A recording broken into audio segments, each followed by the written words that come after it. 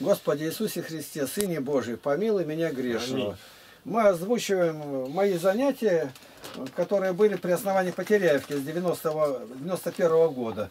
Вот что-то случилось, проводили телефон, там, и у меня сразу эта тема. Считаем, телефон. Телефон. Далеко слышать телефон. Теле далеко, значит, а фон слышать.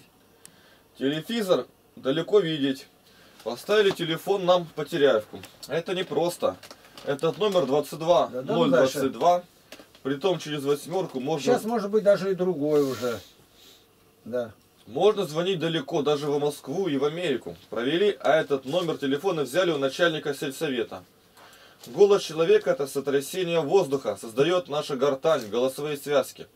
Сотрясает воздух, как говорят, о пустых обещаниях депутатов. Слыша невозможно и на далекие расстояния бытие. Я в телефоне все говорю. А что о нем говорить? О, у меня такие стихотворения написаны на телефоне. Ты его целовать будешь. Давай. И услышали голос Господа Бога, ходящего в раю во время прохлады дня. И скрылся Адам и жена его от лица Господа Бога между деревьями рая. Он сказал, голос твой я услышал в раю и убоялся, потому что я наг и скрылся. Вот и телефон первый. Неизвестно, на каком расстоянии от Бога был Адам, но, мне, но не написано, что он увидел Бога. Кто хочет знать Божий телефон, я могу сказать даже номер 33.3, книга пророка при Еремии. Иеремия. Звоните Богу, вот где написано. Я узнал. Воззови ко мне, и я отвечу тебе. Покажу тебе великое и недоступное, чего ты не знаешь. Иеремия, 33 глава, 3 стих. Звоните почаще. Мы не добираем до Божьего, у нас двойки. Нам обещали подумать и провести подземный кабель, но у него есть свои недостатки. Нам объяснили, что он от мороза может рваться, и его любят грызуны, и перегрызают почему-то. Писание. И когда вы простираете руки ваши, я закрываю от вас очи мои. И когда вы умножаете жмоление ваше, я не слышу, ваши руки полны крови. Вот так. Это ненависть. Вот который сеет Дворкин, это руки полные крови. Ненависть.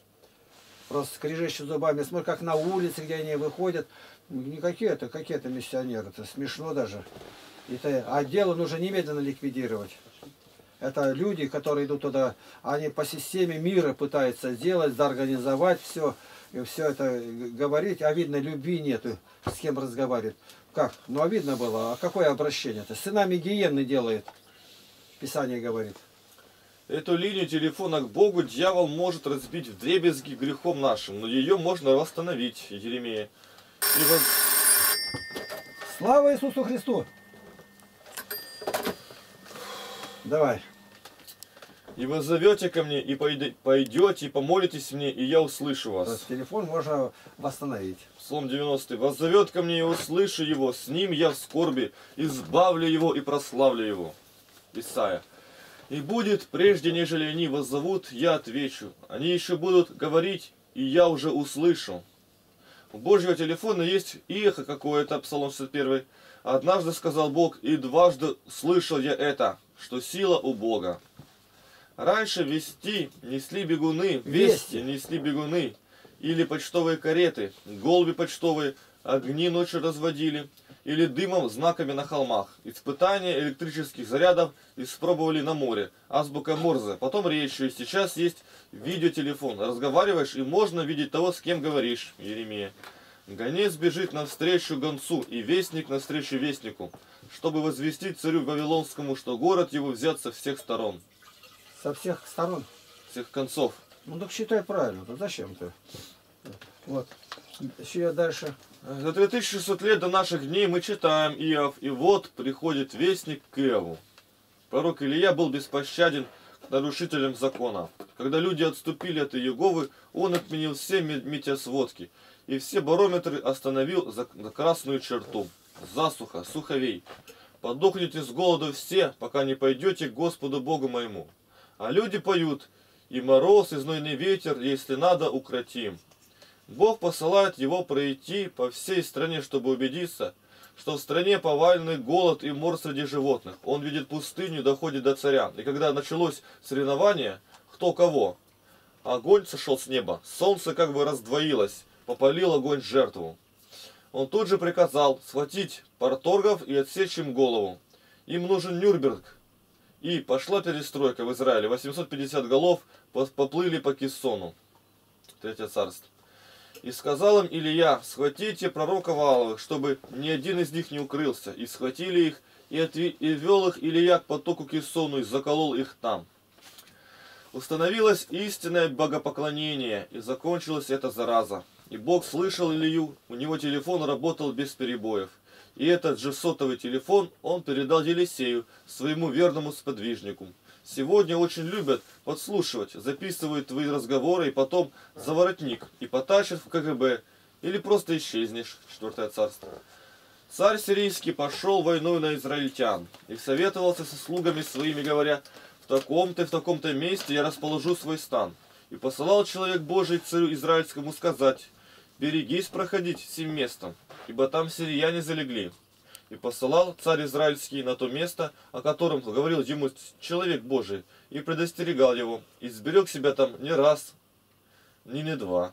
И, не, и встревожилось сердце царя сирийского по всему случаю, и призвал он рабов своих и сказал им, «Скажите мне, кто из наших в сношении с царем израильским?» И сказал один из слуг его, «Никто, господин мой царь, а Елисей пророк, который у Израиля, пересказывает царю израильскому и те слова, которые ты говоришь в спальной комнате твоей. Вот у него жучки какие стояли. Прямая связь с Богом открывает тайны. У Елисея был свой телефон и телевизор, и он видел, что делал царь иностранной державы. Видел то, что было скрыто за холмами. Когда его слуга Гиезий поперхнулся взяткой корыстной от Неемана, он устроил ему допрос, четвертое царство. Когда он пришел и явился господину своему, Елисей сказал ему, «Откуда Гиезий?» Он сказал, «Никуда не ходил раб твой». И сказал он ему, «Разве сердце мое не сопутствовало тебе, когда обратился навстречу тебе человек тот с колесницы своей? Время ли брать серебро и брать одежды, или масличные деревья и виноградники, или мелкий или крупный скот, и рабов и рабынь? Пусть же проказа Нейманова пристанет к тебе и к потомству твоему навек. И вышел он от него белый от проказы, как снег. О, как, какая власть была. Придумали разные миниатюрные микрофоны в замки портфелей и в каблуки ботинок монтировать. Могут за сотни метров прослушивать, как ведущий впереди машине разговаривает. Писали, как придумал один подслушивать совещание. Большая муха была снабжена миниатюрным передатчиком. Она в открытую форточку влетает на определенный запах собравшихся. Заранее муха была опрыскана, чтобы, влетев, тут же упасть и предаваться, передавать все говоренное там. Вот как. Сколько работали над ней-то? Значит, она будет летать, ее увидят и... Сталина было подслушивающее устройство «Вертушка».